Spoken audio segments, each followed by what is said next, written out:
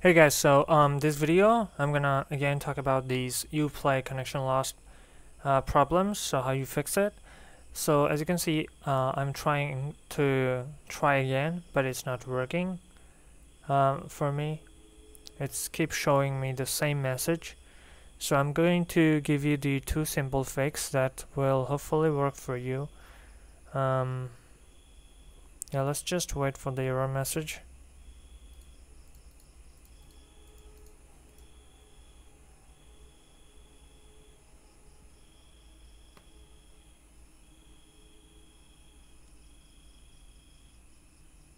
So yeah as you can see it says connection connection lost. So what I what I'm going to do is uh, I'm going to disconnect this um, my current Wi-Fi and I'm gonna use my mobile data see if it's working. So I'm connecting my mobile data right now. Um, yeah it's gonna take a little while to connect with my internet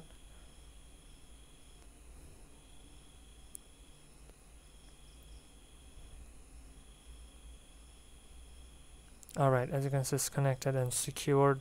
So I'm gonna try again and hopefully this time it will work. And um, I'm gonna tell you why it's work and why not work in your main Wi-Fi.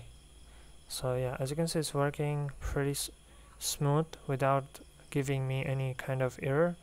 Um, so what I'm going to do right now is uh, I'm going to go to open network and security settings and then go to your network no, no, no, no here. Change show available network no. Change connection properties no.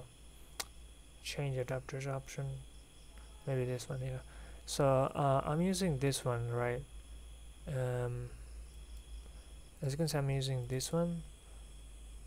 And if you click more details we can see this IP address that I'm using and the server that using you, you could do one thing you could change it um, or you can do another thing which is uh, disconnect connect. So this is your main Wi-Fi. Change adapter options. So this is the Wi-Fi. Right click properties.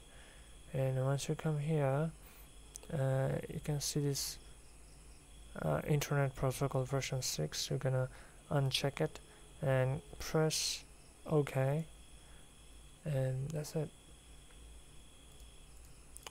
Um, I'm not sure it's gonna work though but yeah that's basically it guys. Um, yeah if this would help you please do subscribe to my YouTube channel.